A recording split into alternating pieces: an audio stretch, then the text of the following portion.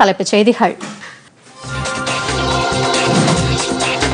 மேற்கு வங்க ஏழாம் கட்ட தேர்தல் வாக்குப்பதிவு விறுவிறுப்பாக நடைபெற்று வருகிறது. வாக்குப்பதிவின் போது கொரோனா முன்னெச்சரிக்கை நடவடிக்கைகளை தீவிரமாக கடைபிடிக்க பிரதமர் நரேந்திர மோடி வேண்டுகோள்.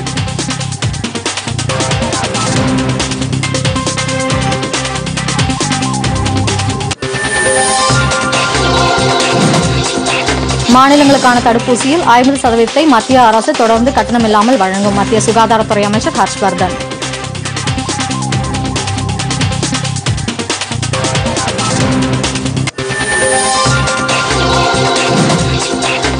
மருத்துவமல்லாத பயன்பாட்டிற்கு திரவ ஆக்சிஜனுக்கு தடை மத்திய அரசு.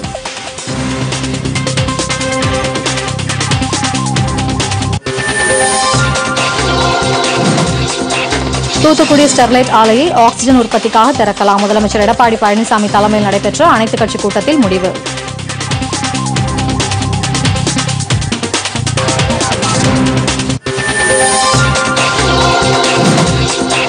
ஆஸ்கார் விருது வழங்கும் விழா அமெரிக்காவின் லாஸ் ஏஞ்சல்ஸ் நகரில் நடைபெற்றது. அமெரிக்காவின் நோமேட்லேண்ட் திரைப்படத்திற்கு மூன்று ஆஸ்கர் விருதுகள்.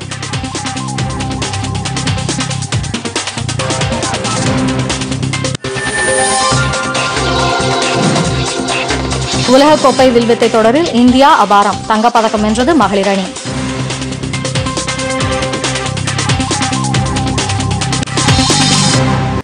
விரிவான செய்திகள். மேற்கு வங்கத்தில் ஏழாவது கட்ட சட்டப்பேரவை தேர்தலுக்கான வாக்குப்பதிவு தீவிரமாக நடைபெற்று வருகிறது. காலை பத்து மணி நிலவரப்படி பதினேழு புள்ளி ஒன்பது ஐந்து சதவீத வாக்குகள் பதிவானதாக தகவல்கள் கிடைத்துள்ளன.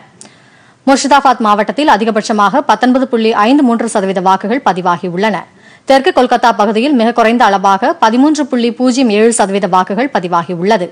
ஏழாவது கட்ட தேர்தலில் முப்பத்தி ஏழு பெண்கள் உட்பட இருநூற்று அறுபத்தி எட்டு வேட்பாளர்கள் களத்தில் உள்ளனர். மாலை ஆறு முப்பது மணி வரை வாக்குப்பதிவு நடைபெறவுள்ளது. இதையொட்டி அறுநூற்று ஐம்பத்தி மூன்று கம்பெனி துணை ராணுவப்படை வீரர்கள் பாதுகாப்பு பணியில் ஈடுபடுத்தப்பட்டுள்ளனர். மொத்தம் முப்பத்தி ஆறு தொகுதிகளுக்கு இன்று வாக்குப்பதிவு நடத்த திட்டமிடப்பட்டிருந்த நிலையில் வேட்பாளர்கள் உயிரிழப்பு காரணமாக ஷாம்சர்கஞ்ச் மற்றும் ஜாங்கிப்பூர் தொகுதிகளில் வாக்குப்பதிவு ஒத்திவைக்கப்பட்டுள்ளது. இந்த வாக்குப்பதிவு தொடர்பாக டுவிட்டரில் பதிவிட்டுள்ள பிரதமர் நரேந்திர மோடி மேற்கு வங்கத்தில் ஏழாவது கட்ட தேர்தல் தற்போது நடைபெற்று வருவதாகவும் பொதுமக்கள் தங்களது ஜனநாயக கடமையை நிறைவேற்ற வேண்டும் என்றும் குறிப்பிட்டுள்ளார். இந்த தேர்தலில் கொரோனா பரவலை தடுப்பதற்கான அனைத்து வழிமுறைகளையும் பின்பற்ற வேண்டும் என்றும் நரேந்திர மோடி கேட்டுக் கொண்டுள்ளாா்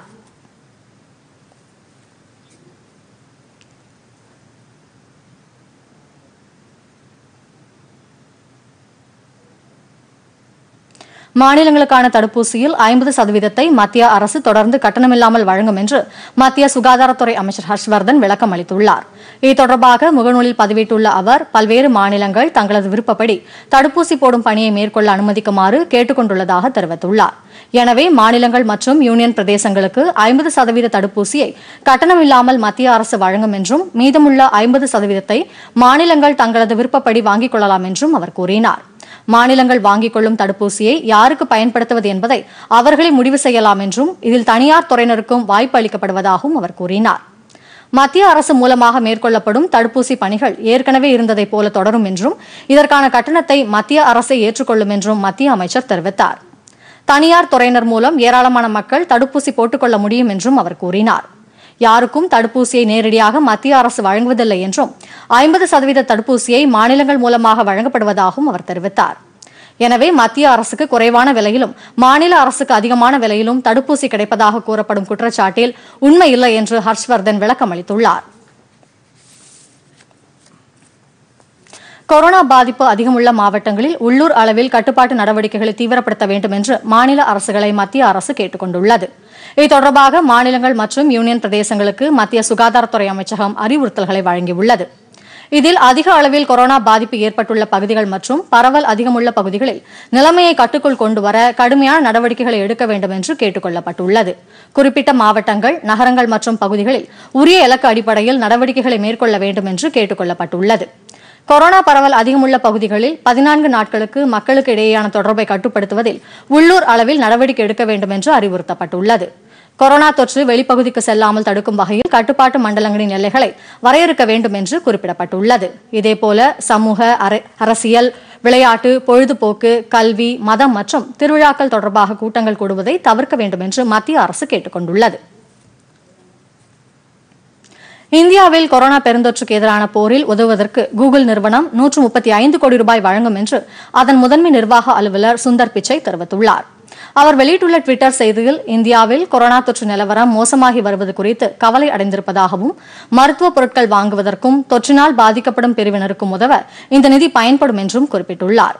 பெருந்தொற்று நிலவரம் மோசமாகி வரும் பின்னணியில் அதனை எதிர்கொள்வதற்கு எடுக்க வேண்டிய நடவடிக்கைகள் குறித்து கூகுள் நிறுவனம் தனது பிளாக் பக்கத்தில் வெளியிடப்பட்டுள்ளது என்றும் அவர் குறிப்பிட்டுள்ளார்.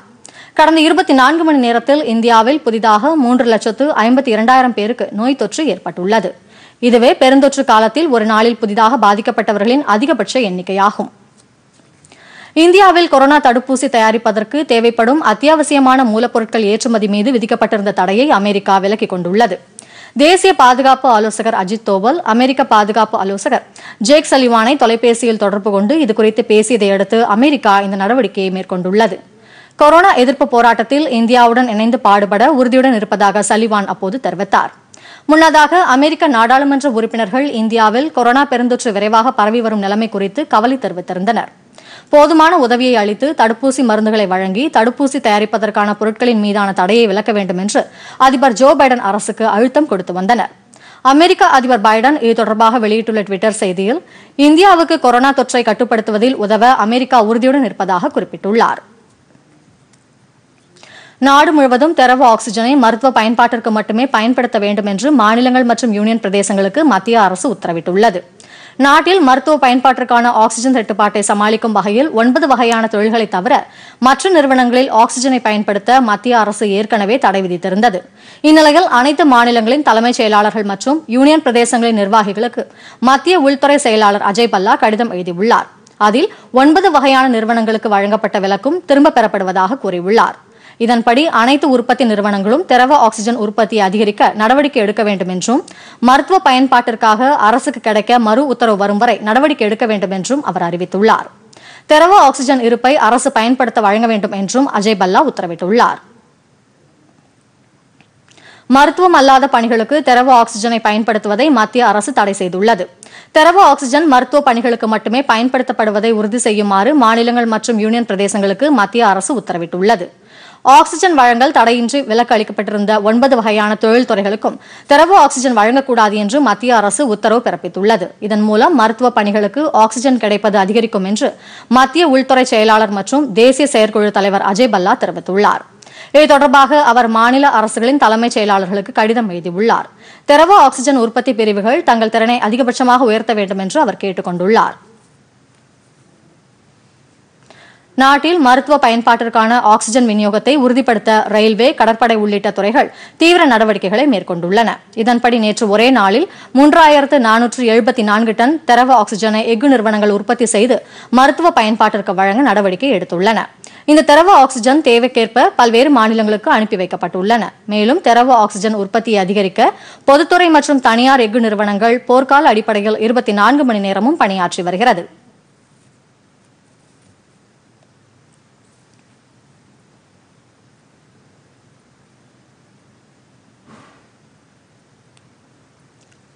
நாடு முழுவதும் நூற்று நாற்பது டன் திரவ ஆக்சிஜனை அனுப்பி வைக்கும் பணிகளை ரயில்வே மேற்கொண்டுள்ளது. இதில் ஐந்து டேங்கர்கள் லக்னோவுக்கும் நான்கு டேங்கர்கள் உத்தரப்பிரதேசத்திற்கும் சென்றடைந்தனர். இதுவரை நூற்று ஐம்பது டன் ஆக்சிஜன் அனுப்பி வைக்கப்பட்டுள்ளதாக ரயில்வே அதிகாரிகள் தெரிவித்துள்ளனர்.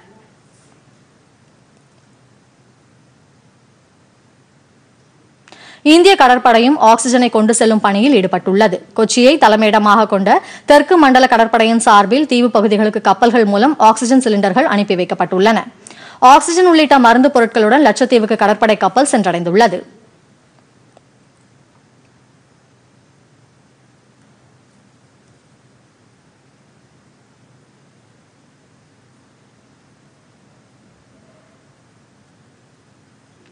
இதனிடையே கொரோனா தொற்று அதிகரித்துள்ள மகாராஷ்டிரா தில்லி உத்தரப்பிரதேசம் மற்றும் மத்திய பிரதேச மாநிலங்களுக்கு சிகிச்சைக்காக படுக்கைகளுடன் கூடிய ரயில் பெட்டிகளை மத்திய ரயில்வே அனுப்பி வைத்துள்ளது.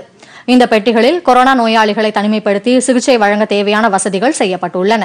கோடை காலத்திற்கு ஏற்றவாறு குளிர்விப்பான்கள் சணல் விரிப்புகள் உள்ளிட்டவையும் இந்த பெட்டிகளில் பொருத்தப்பட்டுள்ளன.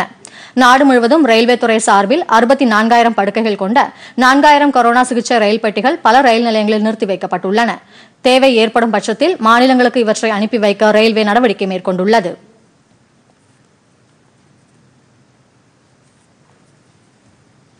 தில்லி பிரதேசத்தில் எட்டு ஆக்ஸிஜன் உற்பத்தி நிலையங்கள் பிஎம் கேர்ஸ் நிதியத்தின் மூலம் அமைக்கப்பட உள்ளன. தில்லி பகுதியில் ஏற்பட்டுள்ள ஆக்ஸிஜன் பற்றாக்குறையை போக்குவதற்கென இந்த நிலையங்கள் அவசர நடவடிக்கையாக அமைக்கப்பட்டு வருகின்றன இதனையடுத்து தில்லி பகுதிக்கு மருத்துவ ஆக்ஸிஜன் கிடைக்கும் திறன் பதினான்கு புள்ளி நான்கு மெட்ரிக் டன்னாக உயரும்.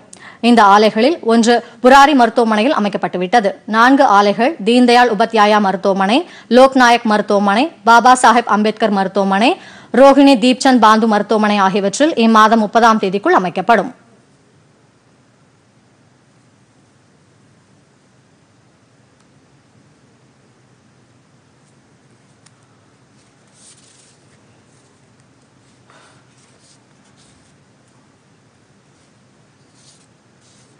இதனிடையே இந்தியா திபெத் எல்லை பாதுகாப்பு படையினரால் அமைக்கப்பட்டுள்ள சர்தார் பட்டேல் கொரோனா பராமரிப்பு மையம் இன்று காலை முதல் செயல்பட தொடங்கியுள்ளது. இந்த மையத்தில் நோயாளிகளை அனுமதிப்பதற்கு அனைத்து முன்னெச்சரிக்கை நடவடிக்கைகளும் தீவிரமாக மேற்கொள்ளப்படும் என்று அறிவிக்கப்பட்டுள்ளது. இந்த மையத்தில் மாவட்ட கண்காணிப்பு அதிகாரிகள் பரிந்துரைத்த நோயாளிகள் மட்டுமே அனுமதிக்கப்படுவார்கள் என்றும் நேரடியாக எவரும் அனுமதிக்கப்பட மாட்டார்கள் என்றும் இந்தியா திபெத் எல்லை பாதுகாப்பு படை தலைமை இயக்குநர் எஸ் எஸ் தேஸ்வால் அறிவித்துள்ளார்.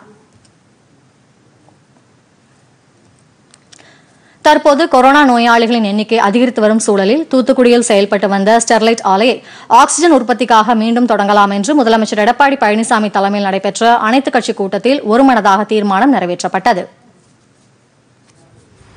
மாண்புமிகு துணை முதலமைச்சர்களுக்கும் மாண்புமிகு அமைச்சர் பெருமக்களுக்கும் இந்த ஆலோசனை கூட்டத்திலே கலந்து கொண்டுள்ள திராவிட முன்னேற்ற கழகத்தினுடைய கட்சியைச் சேர்ந்த நிர்வாகிகளுக்கும் பாரதிய ஜனதா கட்சியைச் சேர்ந்த நிர்வாகிகளுக்கும் இந்திய தேசிய காங்கிரஸ் கட்சி சேர்ந்த நிர்வாகிகளுக்கும் இந்திய கம்யூனிஸ்ட் கட்சி சேர்ந்த நிர்வாகிகளுக்கும் இந்திய கம்யூனிஸ்ட் மார்க்சிஸ்ட் கட்சி சேர்ந்த நிர்வாகிகளுக்கும் பாட்டாளி மக்கள் கட்சி சேர்ந்த நிர்வாகிகளுக்கும் தேசிய முற்போக்கு திராவிட கட்சி சேர்ந்த நிர்வாகிகளுக்கும் வரிந்து முன்னிலை உரையாற்றிய தலைமைச் செயலாளர்களுக்கும் காவல்துறை இயக்குநர்களுக்கும் இந்த ஆலோசனை கூட்ட நிகழ்ச்சியில் கலந்து கொண்டுள்ள அரசு உயர் அதிகாரிகளுக்கும் பத்திரிகைகளுக்கும் ஊடகங்களுக்கும் என்னுடைய முதற்க நடிகலந்த வணக்கத்தை நேரத்தில் நேரத்திலே தெரிவித்துக் கொள்ள விரும்புகிறேன். மாண்பு அம்மாவுடைய அரசு கொரோனா வைரஸ் பரவல் தமிழகத்தில் ஏற்பட்டவுடன் என்னென்ன முன்னெச்சரிக்கை நடவடிக்கை எடுக்கப்பட்டு அதனால் கொரோனா வைரஸ் பரவல் எந்த அளவுக்கு கட்டுப்படுத்தப்பட்டுள்ளது என்ற விவரத்தை சுருக்கமாக நான் தெரிவிக்க விரும்புகிறேன். ரெண்டாயிரத்தி பத்தொன்பதாம் ஆண்டு டிசம்பர் மாதத்தில் கொரோனா வைரஸ் தொற்று சீனாவில் கண்டறியப்பட்டவுடன் மாண்பு அம்மாவின் அரசு முன்னேற்பாடாக பல முன்னெச்சரிக்கை நடவடிக்கை எடுத்து கொரோனா வைரஸ் பரவலை கட்டுப்படுத்துவதற்கு கடும் முயற்சி மேற்கொள்ளப்பட்டது. மருந்துகள் கொள்முதல் மருத்துவ உபகரணங்களான என் நைன்டி ஃபைவ் முகக்கவசங்கள் மூன்று மடிப்பு முகக்கவசங்கள் பிபி முழு உடல் கவசங்கள் வாங்குவதற்கு பணி ஆணை வழங்கப்பட்டு தேவையான அளவுக்கு கொள்முதல் செய்யப்பட்டு நாம் கையிருப்பில் வைத்திருக்கின்றோம். நாட்டில் ஆக்ஸிஜனுக்கான தேவை அதிகரித்துள்ளதால் தூத்துக்குடியில் உள்ள ஸ்டெர்லைட் ஆலையை திறந்து ஆக்ஸிஜனை உற்பத்தி செய்ய அனுமதிக்க வேண்டும் என்று உச்சநீதிமன்றத்தில் வேதாந்தா நிறுவனம் மனு தாக்கல் செய்துள்ளது. இதையடுத்து தூத்துக்குடி மக்களிடம் கருத்துக்களை கேட்டறிந்த மாவட்ட ஆட்சியர் தமிழக அரசுக்கு அறிக்கை அனுப்பினார். இந்நிலையில் வனம் மற்றும் சுற்றுச்சூழல் துறை சார்பில் தலைமைச் செயலகத்தில் முதலமைச்சர் எடப்பாடி பழனிசாமி தலைமையில் அனைத்துக் கட்சி கூட்டம் நடைபெற்றது. இதில் துணை முதலமைச்சர் ஓ பன்னீர்செல்வம் சுகாதாரத்துறை அமைச்சர் விஜயபாஸ்கர் வருவாய்த்துறை அமைச்சர் ஆர் பி உதயகுமார் ஆகியோர் கலந்து கொண்டனர். மேலும் திமுக சார்பில் மகளிரணி செயலாளர் கனிமொழி அமைப்பு செயலாளர் ஆர் எம் பாரதி பிஜேபி தலைவர் எல் முருகன் மற்றும் கே டி ராகவன் காங்கிரஸ் சார்பில் கே பி தங்கபாலு நாடாளுமன்ற உறுப்பினர் ஜெயக்குமார் தேமுதிக சார்பில் அன்புராஜ் இந்திய கம்யூனிஸ்ட் சார்பில் முத்தரசன் மார்க்சிஸ்ட் கம்யூனிஸ்ட் சார்பில் கே பாலகிருஷ்ணன் பாமக துணை பொதுச் செயலாளர் ராதாகிருஷ்ணன் உள்ளிட்டோர் கலந்து கொண்டனர். இந்த கூட்டத்தில் மாநில அரசே ஆலையை ஏற்று ஆக்ஸிஜன் உற்பத்தி செய்யலாம் என்றும் குழுவை அமைத்து கண்காணிக்க வேண்டும் என்றும் பல்வேறு கட்சிகளும் வலியுறுத்தினா் கூட்டத்தில் பேசிய முதலமைச்சர் எடப்பாடி பழனிசாமி ஆலையை திறக்க வேண்டும் என்பது அரசின் நோக்கமில்லை என்றும் ஆலையை மூடியதே அரசுதான் என்றும் கூறினார். அது மட்டும் இல்லாமல் நானே நேரடியாக தமிழ்நாட்டில் அனைத்து மாவட்டங்களிலும் கொரோனா தொற்றை கட்டுப்படுத்த நேரடியாக சென்று மாவட்ட ஆட்சி ஆலோசனை கூட்டத்தில் நடைபெற்று அந்த ஆலோசனை கூட்டத்திலே நம்முடைய மருத்துவ வல்லுநர்கள் குறிப்பிட்ட கருத்துக்களை எடுத்துச் சொல்லி கொரோனா வைரஸ் பரவலை கட்டுப்படுத்துவதற்கு அனைத்து நடவடிக்கையும் எடுக்கப்பட்டன. அதோடு அரசு அறிவித்த வழிகாட்டு நெறிமுறைகளை மக்கள் தொடர்ந்து கடைபிடிக்க வேண்டும் என்பதற்காக பத்திரிகை தொலைக்காட்சி மற்ற ஒளிபெருக்கின் மூலமாக தொடர்ந்து விழிப்புணர்வு ஏற்படுத்தப்பட்டது. கொரோனா வைரஸ் பரவலை கட்டுப்படுத்துவதற்கு தேவையான தளர்வுடன் பொது முடக்கம் மிகவும் கவனமாகவும் பாதுகாப்பாகவும் அமுல்படுத்தப்பட்டது. இந்தியாவிலேயே தமிழ்நாட்டில் மட்டும்தான் அதிகப்படியான ஆர்டிபிசிஆர் பரிசோதனை மேற்கொள்ளப்பட்டது. இதுவரை ரெண்டு கோடி பதினெட்டு லட்சம் நபர்களுக்கு பரிசோதிக்கப்பட்டு நோய் அறிகுறி உள்ளவர்களை துல்லியமாக கண்டறியப்பட்டு அவர்களுக்கு உரிய சிகிச்சை அளித்த காரணத்தினாலே கொரோனா வைரஸ் பரவல் கடந்த காலத்திலே கட்டுப்படுத்தப்பட்டது. எனினும் தற்போதைய நிலையில் ஆக்ஸிஜனுக்கான தேவை அதிகரித்துள்ளதாக முதலமைச்சர் குறிப்பிட்டார். மேலும் உச்சநீதிமன்ற உத்தரவுப்படி ஸ்டெர்லைட் ஆலையில் அமைந்துள்ள பிராணவாயு உற்பத்தி மற்றும் அதனை சார்ந்த உபகரணங்களை பழுது பார்க்கப்பட்டு உற்பத்தியை நான்கு மாதங்களுக்கு தொடங்குவதற்கு இந்த கூட்டத்தில் ஒருமனதாக தீர்மானம் நிறைவேற்றப்பட்டது. மேலும் கொரோனா பாதிப்பு அதிகமானால் தொடர்ந்து கால அவகாசம் நீட்டிக்கப்படலாம் என்றும் தீர்மானம் நிறைவேற்றப்பட்டது. இந்த ஆலையில் எவ்வித காரணம் கொண்டும் தாமிர உற்பத்தி உட்பட எந்த உற்பத்தியையும் அனுமதிக்க கூடாது என்றும் கூட்டத்தில் தீர்மானம் நிறைவேற்றப்பட்டது. இங்கு உற்பத்தி செய்யும் பிராணவாயு தமிழக மருத்துவமனைகளில் தேவைக்கு போக பிற மாநிலங்களுக்கும் வழங்கலாம் என்றும் தீர்மானம் வலியுறுத்துகிறது. தமிழகத்தை தொடர்ந்து புதுச்சேரியிலும் புதிய கட்டுப்பாடுகள் அறிவிக்கப்பட்டுள்ளன. புதுச்சேரியில் நேற்று ஒரே நாளில் ஆயிரத்தி எட்டு பேருக்கு கொரோனா தொற்று உறுதி செய்யப்பட்டுள்ளது. இதனை கட்டுப்படுத்துவதற்கான நடவடிக்கைகள் குறித்து உயர்மட்ட குழுவுடன் துணைநிலை ஆளுநர் தமிழிசை சவுந்தரராஜன் ஆலோசனை நடத்தினார். இதையடுத்து நாளை முதல் புதிய கட்டுப்பாடுகளை விதிக்க முடிவு செய்யப்பட்டுள்ளது. உணவு விடுதிகள் தேநீர் கடைகள் மற்றும் மதுபான கடைகளில் பார்சல்கள் மட்டுமே வழங்கப்படும் என்று அறிவிக்கப்பட்டுள்ளது. கோவில்களில் பொது வழிபாட்டுக்கு தடை விதிக்கப்பட்டுள்ளது. வணிக வளாகங்கள் உடற்பயிற்சி கூடங்கள் பொது அரங்குகள் அழகு நிலையங்கள் சலூன்கள் ஆகியவை செயல்பட தடை விதிக்கப்பட்டுள்ளது.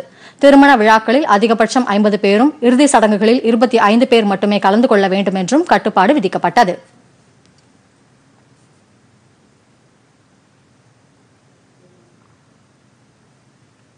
கொரோனா தொற்று உறுதியான அனைவரும் மருத்துவமனையில் அனுமதிக்கப்பட வேண்டும் என்ற நிலை இல்லை என்று மத்திய அரசு விளக்கம் அளித்துள்ளது.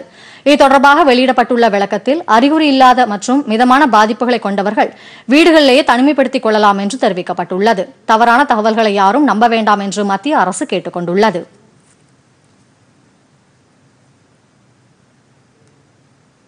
சிறிய இடைவெளிக்கு பின் செய்திகள் தொடரும். தமிழக தேர்தல் களம் இரண்டாயிரத்தி இருபத்தி ஒன்று. இருநூற்றி முப்பத்தி நான்கு தொகுதிகள். மூவாயிரத்தி எழுநூத்தி இருபத்தி எட்டு வேட்பாளர்கள். ஆறு கோடியே இருபத்தி ஒன்பது லட்சத்து நாற்பத்தி மூன்றாயிரத்தி ஐநூற்றி பனிரெண்டு வாக்காளர்கள். யார் ஆட்சி அமைக்க வேண்டும் என்று மக்கள் முடிவு செய்த நாள் ஏப்ரல் ஆறு. இதன் முடிவுகள் நம்பிக்கைக்கு உகந்த உங்கள் பொதிகையில். பொதிகை டிவி பார்க்கறது ரொம்ப விருப்பம் அதிகம். அதில் கொஞ்சம் நியாயமாக இதை சொல்லுவாங்க. பொதிகை சேனல் வந்து எலெக்ஷன் கமிஷன் டிக்ளேர் பண்ண ரிசல்ட்ஸ் மட்டும்தான் போடுவாங்க.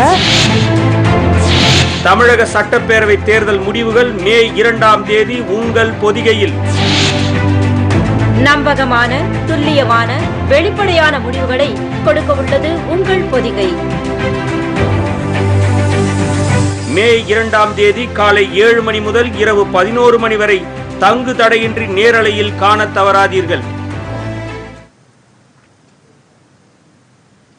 இனி வருவது விரைவுச் செய்திகள். கொரோனா பாதிப்பு அதிகரித்து வருவதால் தமிழகம் முழுவதும் வங்கிகள் இயங்கும் நேரம் குறைக்கப்பட்டுள்ளது. இதன்படி வங்கிகள் காலை பத்து மணிக்கு திறக்கப்பட்டன. பிற்பகல் இரண்டு மணி வரை மட்டுமே வங்கிகள் செயல்படும். ஏடிஎம் மையங்கள் தடையில்லாமல் இயங்க நடவடிக்கை எடுக்கப்பட்டுள்ளது. வங்கிகளுக்கு வாடிக்கையாளர்கள் முடிந்த அளவு வருவதை தவிர்த்து டிஜிட்டல் வங்கி சேவை தளத்தை பயன்படுத்திக் கொள்ளுமாறு அறிவுறுத்தப்பட்டுள்ளனர். சித்ரா பௌர்ணமி நாளான இன்று தருமபுரி மாவட்டம் அதியமான் கோட்டத்தில் உள்ள வள்ளல் அதியமான் ஔவையார் திருவுருவச் சிலைகளுக்கு மாவட்ட ஆட்சியர் கார்த்திகா மாலை அணிவித்து மலர் தூவி மரியாதை செலுத்தினார். இந்த நிகழ்ச்சியில் சார் ஆட்சியர் உள்ளிட்ட பல அதிகாரிகள் பங்கேற்றனர். மொழி வளர்ப்புக்கு பாடுபட்ட அறிஞர்கள் விடுதலை போராட்ட தியாகிகள் ஆகியோரை பெருமைப்படுத்துவதற்கு மணி மண்டபங்கள் அமைக்கப்பட்டு அரசு சார்பில் கொண்டாடப்படும் திட்டத்தையொட்டி இந்த நிகழ்ச்சி நடைபெற்றது. கொரோனா சிகிச்சைக்கு கூடுதலாக மருத்துவர்களை நியமிக்க வேண்டும் என்று பாமக நிறுவனர் ராம்தாஸ் கேட்டுக் கொண்டுள்ளார் இன்று அவர் வெளியிட்டுள்ள அறிக்கையில் தமிழ்நாட்டில் கொரோனா தொற்றால் பாதிக்கப்படுவோரின் எண்ணிக்கை நாளுக்கு நாள் அதிகரித்து வரும் நிலையில் கூடுதல் வசதிகள் தேவைப்படுவதாக குறிப்பிட்டுள்ளார். பணியில் இருக்கும் மருத்துவர்கள் தொடர்ந்த பணி காரணமாக மன உளைச்சலுக்கு ஆளாகி வருவதாக குறிப்பிட்ட அவர் இந்த நிலையை தவிர்க்க கூடுதல் மருத்துவர்கள் தேவை என்று குறிப்பிட்டுள்ளார். தூத்துக்குடி ஸ்டெர்லைட் ஆலையை தமிழக அரசு தமது பொறுப்பில் எடுத்துக்கொண்டு அதன் பிறகு அதில் ஆக்ஸிஜன் தயாரிப்பு பணியை தொடங்க வேண்டும் என்று மதிமுக பொதுச் செயலாளர் வைகோ கேட்டுக் கொண்டுள்ளார் சென்னையில் இன்று அவர் வெளியிட்ட அறிக்கையில் கோடிக்கணக்கான ரூபாய் ஈட்டிய ஸ்டெர்லைட் ஆலை ஆக்சிஜன் பிரச்சனையை பயன்படுத்திக் கொண்டு மீண்டும் திறந்து செயல்படுவதற்கு முயற்சி மேற்கொண்டிருப்பதாகவும் இதனை தமிழக அரசு அனுமதிக்க கூடாது என்றும் வைகோ கேட்டுக்கொண்டுள்ளார். சென்னை விமான நிலையத்தின் உள்நாட்டு பயணிகளுக்கு இன்றிலிருந்து புதிய கட்டுப்பாடுகள் அமலுக்கு வருகின்றன சென்னையிலிருந்து அந்தமான் உள்ளிட்ட ஆறு வெளி மாநிலங்களுக்கு செல்லும் பயணிகளுக்கு கொரோனா மருத்துவ பரிசோதனை சான்றிதழ் கட்டாயமாக்கப்பட்டுள்ளது. இதுவரை வெளிநாட்டு பயணிகளுக்கு மட்டுமே மருத்துவ பரிசோதனை சான்றிதழ் கட்டாயம் என்ற நிலையில் இருந்து தற்போது அந்தமான் ஒடிசா ராஜஸ்தான் மணிப்பூர் மேற்கு வங்கம் குஜராத் மாநிலங்களுக்கான பயணிகளுக்கும் இது கட்டாயமாக்கப்பட்டுள்ளது. சித்ரா பௌர்ணமியை முன்னிட்டு பழனி முருகன் கோவிலில் குவிந்த பக்தர்களுக்கு அனுமதி மறுக்கப்பட்டது. சாமி தரிசனம் செய்ய வந்த ஏராளமான மக்கள் மலை அடிவாரத்திலேயே திருப்பி அனுப்பப்பட்டனர். கொரோனா தொற்று காரணமாக தமிழக அரசு அறிவித்துள்ள கட்டுப்பாடுகளில் கோவில்களுக்குள் சென்று வழிபடுவதற்கு அனுமதி மறுக்கப்பட்டுள்ளது. இதன்படி பழனி கோவிலில் இந்த நடவடிக்கை எடுக்கப்பட்டுள்ளது. மக்கள் அனைவரும் மலை அடிவாரத்தில் உள்ள பாத விநாயகரை தரிசனம் செய்துவிட்டு திரும்பி சென்றனர். உத்தரப்பிரதேச மாநிலத்தில் இருபது மாவட்டங்களில் மூன்றாம் கட்ட உள்ளாட்சி தேர்தலுக்கான வாக்குப்பதிவு தொடங்கி தற்போது விறுவிறுப்பாக நடைபெற்று வருகிறது. மாலை ஆறு மணி வரை வாக்குப்பதிவு நடைபெறும். வாக்கு மையங்களில் வாக்காளர்களுக்கு முகக்கவசம் வழங்கப்பட்டு சமூக இடைவெளியை கடைபிடிக்க அறிவுறுத்தப்பட்டுள்ளனர் கொரோனா பாதிப்பு அதிகரித்து வருவதால் உத்தரப்பிரதேச அரசு தேவையான முன்னேற்பாடுகளை செய்துள்ளது. சென்னை மாநகரில் உரிமம் பெற்ற கிளப்புகள் மற்றும் ஓட்டல்களில் இயங்கி வரும் மது பார்கள் இன்று முதல் மறு உத்தரவு வரும் வரை மூடப்படும் என்று சென்னை மாவட்ட ஆட்சித்தலைவர் அறிவித்துள்ளார். கொரோனா பாதிப்பு அதிகரித்து வருவதால் இந்த நடவடிக்கை எடுக்கப்பட்டுள்ளது. தவறினால் கடும் நடவடிக்கை எடுக்கப்படும் என்று சென்னை மாவட்ட ஆட்சித்தலைவர் எச்சரித்துள்ளார்.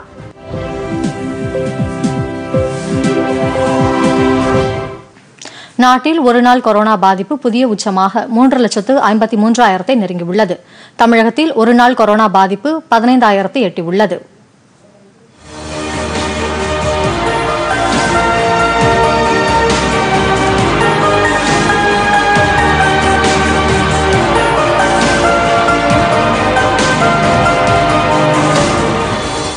நாட்டில் ஒருநாள் கொரோனா பாதிப்பு புதிய உச்சமாக மூன்று லட்சத்து ஐம்பத்தி மூன்றாயிரத்தை நெருங்கியுள்ளது. கடந்த இருபத்தி நான்கு மணி நேரத்தில் புதிதாக மூன்று லட்சத்து ஐம்பத்தி இரண்டாயிரத்து தொள்ளாயிரத்தி தொன்னூற்றி ஒரு பேருக்கு வைரஸ் தொற்று உறுதி செய்யப்பட்டுள்ளது. ஒரே நாளில் இரண்டாயிரத்து எண்ணூற்று பனிரெண்டு பேர் உயிரிழந்துள்ளதாகவும் இரண்டு லட்சத்து பத்தொன்பதாயிரத்து இருநூற்று எழுபத்தி இரண்டு பேர் குணமடைந்து வீடு திரும்பியுள்ளதாகவும் மத்திய சுகாதாரத்துறை அமைச்சகம் தெரிவித்துள்ளது. நாடு முழுவதும் இருபத்தி எட்டு லட்சத்து பதிமூன்றாயிரத்து அறுநூற்று ஐம்பத்தி எட்டு பேர் தொடர்ந்து சிகிச்சை பெற்று வருகிறார்கள். தமிழ்நாட்டில் ஒரு நாள் கொரோனா பாதிப்பு பதினைந்தாயிரத்தை தாண்டியுள்ளது. கடந்த இருபத்தி நான்கு மணி நேரத்தில் புதிதாக பதினைந்தாயிரத்து அறுநூற்று ஐம்பத்தி ஒன்பது பேருக்கு வைரஸ் தொற்று உறுதி செய்யப்பட்டுள்ளது. சென்னையில் மட்டும் ஒரே நாளில் நான்காயிரத்து இருநூற்றி ஆறு பேர் கொரோனாவால் பாதிக்கப்பட்டுள்ளனர்.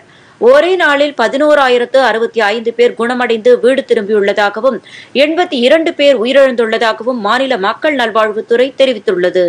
உயிரிழந்த எண்பத்தி இரண்டு பேரில் பத்தொன்பது நாள் பச்சிளம் குழந்தை உட்பட முப்பது பேர் சென்னையை சேர்ந்தவர்கள். தமிழகத்தில் தற்போது ஒரு லட்சத்து ஐந்தாயிரத்து நூற்றி எண்பது பேர் மருத்துவமனைகளில் சிகிச்சை பெற்று வருகிறார்கள்.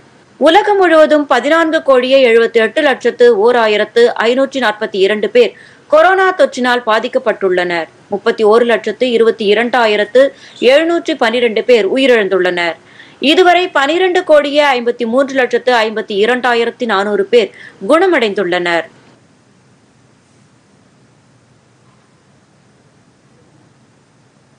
நாடு முழுவதும் கொரோனா தடுப்பூசி செலுத்திக் கொண்டவர்களின் எண்ணிக்கை பதினான்கு கோடியே பத்தொன்பது லட்சத்தை கடந்துள்ளது.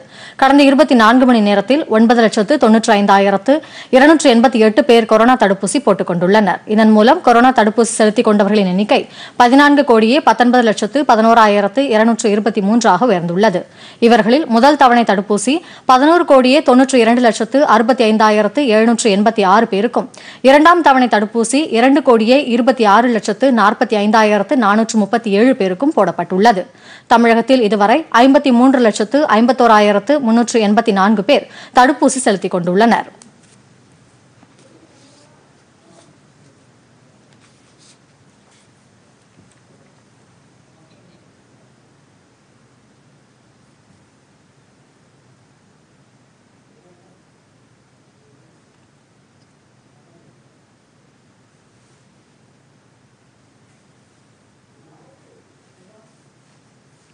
சிறிய இடைவெளிக்கு பிறகு செய்திகள் தொடரும். பொதிகை செய்தி பிரிவு வழங்கும் மக்கள் மேடை. இன்றைய மக்கள் மேடை நிகழ்ச்சியில் கொரோனாவும் ஹோமியோபதி சிகிச்சையும். கொரோனா வருமுன் காப்பது எப்படி? வந்த பின் மேற்கொள்ளும் ஹோமியோபதி சிகிச்சை முறைகள் குறித்து விவாதிக்க உள்ளோம். இந்நிகழ்ச்சியில் பங்கேற்று தம் ஆலோசனைகளை தர உள்ளார் இஎஸ்ஐ ஹோமியோபதி மருத்துவர் டாக்டர் என் நித்ய செல்வி அவரை சந்தித்து உரையாடுபவர் டாக்டர் ஆ. அனீஸ் பாத்திமா இன்று இரவு ஏழு முப்பது மணிக்கு காண தவறாதீர்கள். உங்கள் பொதிகையில்.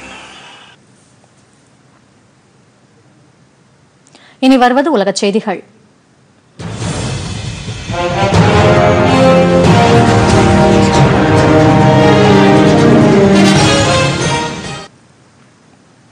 அமெரிக்காவின் நோமேட்லேண்ட் திரைப்படம் மூன்று ஆஸ்கர் விருதுகளை பெற்றுள்ளது. திரைத்துறையின் உயரிய விருதான ஆஸ்கார் விருது வழங்கும் விழா அமெரிக்காவின் லாஸ் ஏஞ்சல்ஸ் நகரில் நடைபெற்றது. கொரோனா பெருந்தொற்று காரணமாக தொன்னூற்றி மூன்றாவது ஆஸ்கர் விருது விழா இரண்டு மாதங்கள் தாமதமாக நடைபெற்றது. கொரோனா பரவல் தடுப்பு நடவடிக்கையாக பார்வையாளர்கள் மற்றும் தொகுப்பாளர்கள் இல்லாமல் வித்தியாசமான முறையில் இந்த விழா நடைபெற்றது. இதில் அமெரிக்காவின் நோமேட்லேண்ட் திரைப்படம் சிறந்த திரைப்படத்திற்கான விருதை வென்றது. அதன் இயக்குனர் ஸ்லோஜாவ் சிறந்த இயக்குநர் விருதை பெற்றார். இந்த விருதை பெறும் இரண்டாவது பெண் இயக்குனர் என்ற பெருமையை அவர் பெற்றுள்ளார். சிறந்த நடிகையாக அந்த படத்தில் நடித்த பிரான்சிஸ் மெக்டார்மன் தேர்வு செய்யப்பட்டார். சிறந்த நடிகருக்கான விருதை தி ஃபாதர் படத்திற்காக அந்தோனி ஹாப்கின்ஸ் வென்றார்.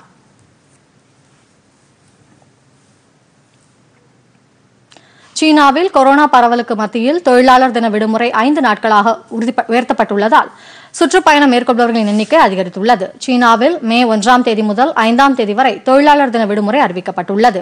கடந்த ஆண்டு கொரோனா உச்சம் பெற்றிருந்ததால் சுற்றுலா தொழில் பெரிதும் பாதிக்கப்பட்டிருந்தது. தற்போது நிலைமை ஓரளவு சீரடைந்துள்ளதால் இந்த ஆண்டு விடுமுறையை கொண்டாட அந்நாட்டு மக்கள் அதிகம் ஆர்வம் காட்டி வருகிறார்கள். இதற்கான டிக்கெட் முன்பதிவுகள் விறுவிறுப்பாக நடைபெற்று வருகின்றன. முதல் உலகப் போரின் போது ஆர்மீனியாவில் நிகழ்ந்த உயிரிழப்புகளை இனப்படுகொலை என அமெரிக்கா அறிவுறுத்தியுள்ளது. ஆயிரத்தி தொள்ளாயிரத்தி பதினைந்தாம் ஆண்டு நிகழ்ந்த இந்த சம்பவம் குறித்து வாஷிங்டனில் வெளியிட்டுள்ள அறிக்கையில் அமெரிக்க அதிபர் ஜோ பைடன் இது இனப்படுகொலை என வர்ணித்தார். ஓட்டோமான் கால ஆர்மீனியர் இனப்படுகொலையில் இறந்த அனைவரின் வாழ்க்கையையும் தாங்கள் நினைவு கூறுவதாக தெரிவித்துள்ள அவர் இது போன்ற ஒரு கொடுமை மீண்டும் நிகழாமல் தடுக்க வேண்டும் என கேட்டுக்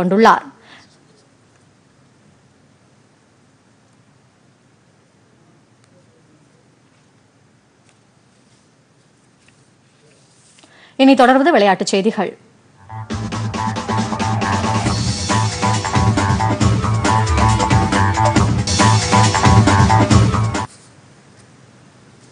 மத்திய ஆப்பிரிக்க நாடான கௌதம மாலாவில் நடைபெற்ற சர்வதேச வில்வித்தை போட்டியில் இந்திய மகளிர் அணி தங்கப்பதக்கம் வென்றது.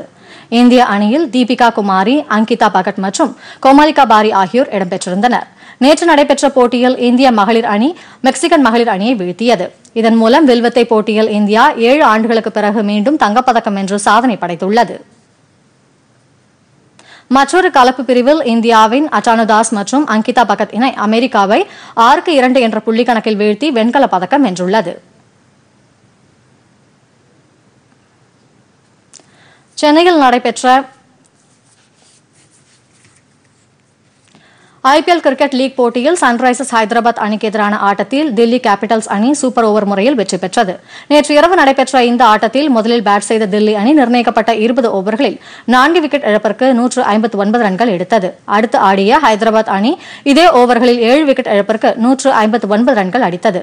ஆட்டம் சமம் ஆனதால் வெற்றியாளரை தீர்மானிக்க சூப்பர் ஓவர் முறை கையாளப்பட்டது.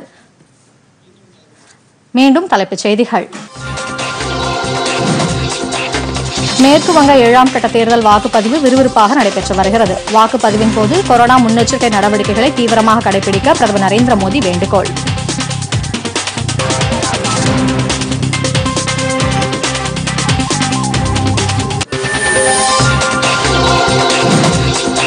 மாநிலங்களுக்கான தடுப்பூசியில் ஐம்பது சதவீதத்தை மத்திய அரசு தொடர்ந்து கட்டணமில்லாமல் வழங்கும் மத்திய சுகாதாரத்துறை அமைச்சர் ஹர்ஷ்வர்தன்.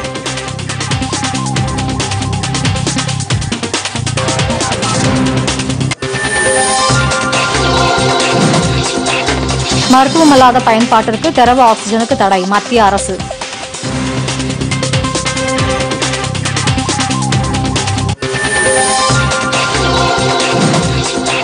தூத்துக்குடி ஸ்டெர்லைட் ஆலையை ஆக்ஸிஜன் உற்பத்திக்காக திறக்கலாம். முதலமைச்சர் எடப்பாடி பழனிசாமி தலைமையில் நடைபெற்ற அனைத்துக் கட்சி கூட்டத்தில் முடிவு.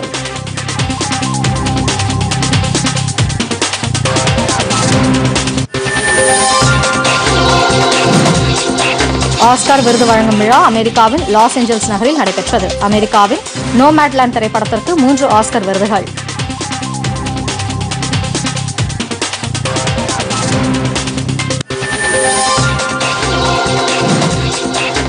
உலகக்கோப்பை வில்வித்தை தொடரில் இந்தியா அபாரம். தங்கப்பதக்கம் வென்றது மகளிர் அணி.